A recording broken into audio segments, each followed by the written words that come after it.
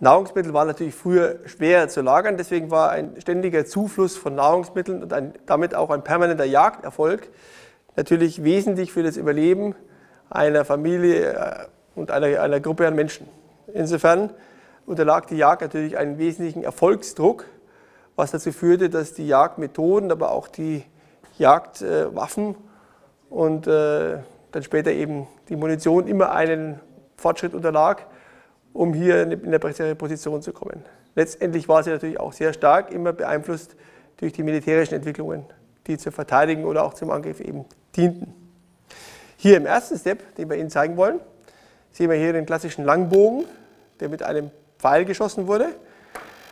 Ähm, diese Jagd- oder Waffenart ist eine recht alte. Sie geht schon auf das 12. Jahrhundert vor Christus zurück.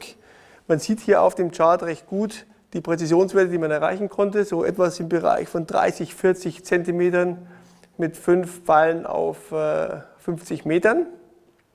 Das war natürlich schon eine Herausforderung an denjenigen Schützen. Die maximale Einsatzreichweite für die Jagd war damals um die 30 Meter. Mit modernen Compoundbögen kann man heutzutage schon etwas weiter schießen. Die Energie eines Jagdpfeils ist natürlich mit 45 Joule im Mittel auch relativ limitiert, was auch zielballistisch, also auch also quasi die Tötungswirkung war dadurch schon sehr stark eingeschränkt. Das heißt, man musste sehr gut treffen, um das Stück relativ bald runterzubringen. Ein weiterer Step war dann der Armbrust. Auch dieser ging auf militärische Entwicklungen zurück. Hier eine neue Version mit äh, Zielfernrohr. Man hatte hier schon eine Verbesserung, man konnte nämlich schon vorher spannen, man musste ja nicht mehr vor Ort spannen, direkt. Ähm, man hat schon 122 Joule, man hat 80 Meter, teilweise ein bisschen mehr Reichweite, konnte also weiter rausschießen, musste nicht mehr so nah ran an das Stück Wild und hat eine etwas stärkere Wirkung gehabt. Ein weiterer Schritt dann ab dem 16. Jahrhundert, hier der Vorderlader, der damit mit äh, von vorne eben geladen wurde mit Schwarzpulver, dann kam eine Kugel drauf und dann Zündhütchen hier oben drauf. Das heißt, es war immer ein relativ langer Prozess, bis man diese Waffe wieder einsatzbereit hatte. Man musste sie nach dem Schießen auch putzen und reinigen. Das heißt, es hatte relativ lang gedauert, bis man einen zweiten oder dann auch wieder einen dritten Schuss antragen konnte. Deutlicher Unterschied.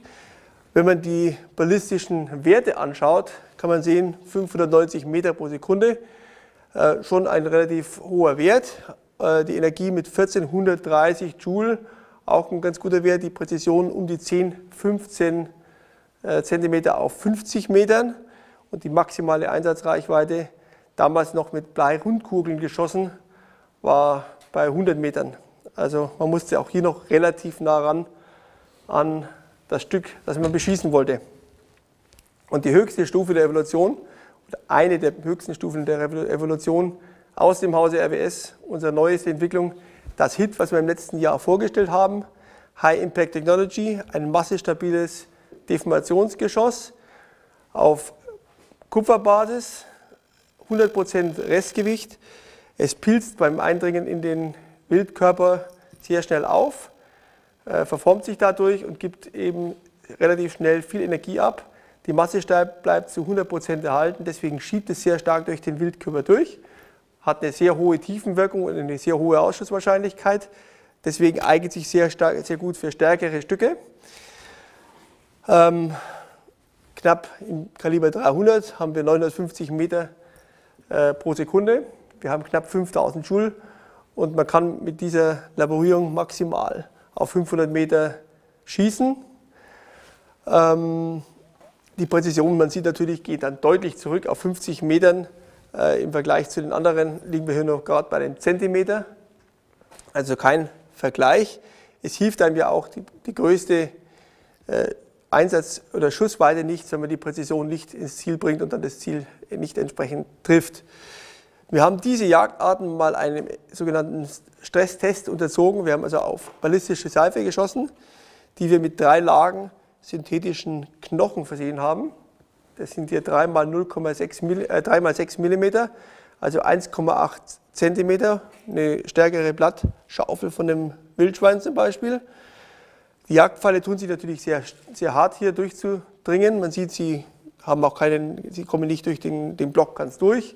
Also der Pfeil würde einfach im, im Wild stecken bleiben, dringen zum Teil auch nicht sehr stark ein. Der alte Langbogen wirklich nur ein paar Zentimeter, also hier keine tödliche Wirkung.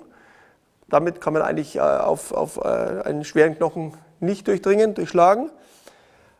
Der Vorderlader hier schon mehr, schlägt durch, aber der Schusskanal dann sehr, sehr dünn, also kaum mehr Zerstörungswirkung im Bereich der lebenswichtigen Organe. Das heißt, man musste wirklich gut treffen, um das Stück dann auch runterzubringen und man musste auch entsprechend hinten dran bleiben, dass man das Stück dann auch fand, letzten Endes. Beim Hit ganz anders, hier die beste Entwicklung aus unserem Haus in Bezug auf so eine starke äh, Knochenwirkung hier. Durchschlägt die drei Knochen ohne Problem. Die Fragmente der Knochen sieht man natürlich in der Wundhöhle verteilt. Das Geschoss bleibt dennoch massestabil, 100% erhalten, schlägt durch, kräftiger Wundkanal, hohe Tiefenwirkung, hohe Zerstörung auch im tieferen Bereich und ein sicherer Ausschuss für einen, eine, eine, gute, eine gute Blutspur, Schweißspur, wenn man den nachsuchen muss. Die Energiewerte, die man in etwa auch hier wieder an den Volumen des, äh, der, der temporären Wundhöhle sieht, hier mit 800 Millilitern geht hier runter auf 80, hier auf 30 Milliliter verdrängtes Volumen, zeigen auch an, wie stark die, die Tötungswirkung im Wildkörper bei diesen verschiedenen äh, Jagdwaffen wäre und zeigt natürlich die Überlegenheit unseres neuesten Produktes sehr deutlich auf. Damit sind wir hier momentan ganz vorne dabei, an der Spitze der Evolution der Jagd sozusagen. Das war's von RWS. Vielen Dank. Bis zum nächsten Mal.